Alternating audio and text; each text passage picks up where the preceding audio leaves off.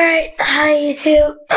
This is another review on um a pistol this time. A water pistol. Um it's on this Colt 45 pistol. Um uh so let's get started.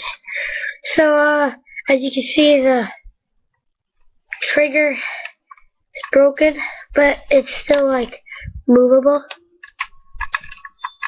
See that? Yeah.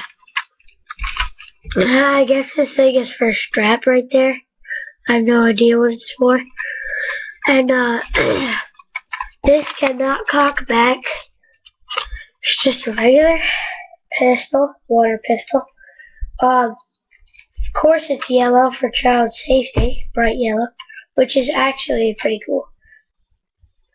And it's actually full size. It's full size. And how I know? I went to a gun show and measured it there. Oh, and also, the same gun that I measured at the gun show was the same length, the same height, same width, but not the same weight, obviously.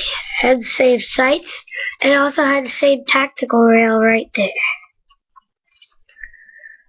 Um, the trigger again. There's a broken piece inside.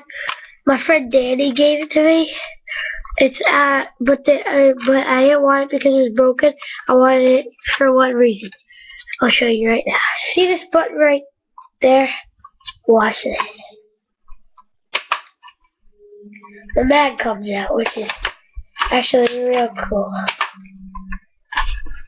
So uh, basically, what you do with the bag is you put the water in this black hole right there.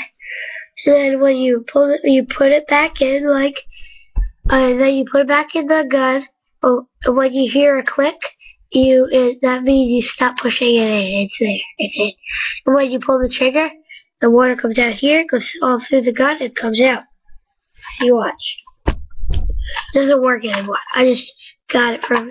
He didn't cost. It didn't cost any money. He just let me have it. So watch this. See look.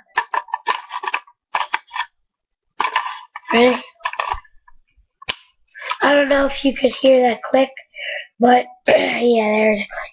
So again, really cool Colt 45 looking pistol. Uh, hope you rate, comment, subscribe. Bye.